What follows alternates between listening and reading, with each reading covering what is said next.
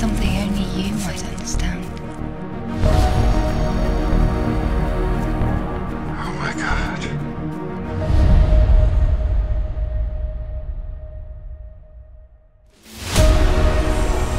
I spent 20 years trying to get us ready for this.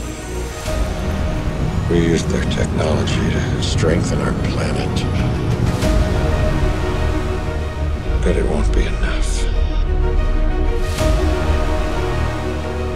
See them in my dreams. They're coming back. Today you will once again be fighting for our freedom. Not from tyranny, oppression, or persecution, but from annihilation. And should we win the day, the 4th of July